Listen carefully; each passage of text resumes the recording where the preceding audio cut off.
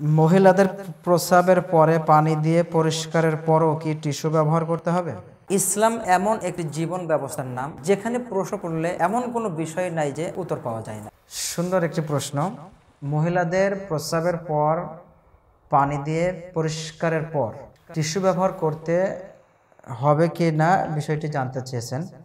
আল্লাহ রাসুল সাল আলী ওয়াসাল্লামের হাদিস অনুযায়ী আমরা যেটা জানতে পারি এবং দেখতে পাই হাদিসের মধ্যে, একজন পুরুষ হোক, একজন নারী হোক, উভয়ের জন্য পানি দিয়ে এস্তেঞ্জার কাজ সম্পাদন করাটাই হাদিস অনুযায়ী আমল।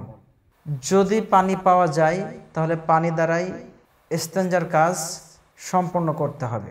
এস্তেঞ্জার কাজ পানি দ্বারা সম্পন্ন করার পর নারী হোক, পুরুষ হোক, উভয়ের জন্যই আর কোনো টিস্যু পেপার অথবা ঢেলা কলুফ বা কোনো কিছু ব্যবহার করার প্রয়োজন নাই।